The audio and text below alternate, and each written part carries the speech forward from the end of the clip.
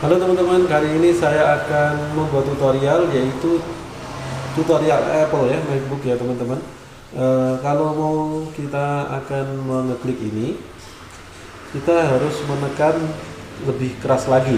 Kalau misalnya dengan seperti ini aja, dengan ketukan, tidak akan keluar atau tidak akan bisa ya.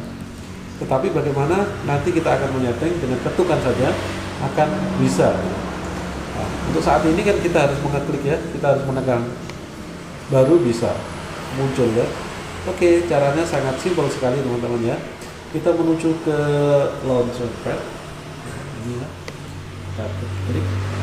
Lalu kita menuju ke sistem preference. Lalu kita menuju ke trackpad. Ini ya. Oke, lalu di bagian yang ini ya, di bagian tap to klik ini kita biarkan oke teman-teman itu aja. Kasih. sekarang sudah. Sekarang kita coba. Ya, kita hapus dulu. Nah ini sekarang sudah bisa teman-teman ya. Coba kita ini di Safari. Nah langsung bisa kita matikan. Dengan cuma ini aja. Kita coba terlebih dahulu. Ini bisa.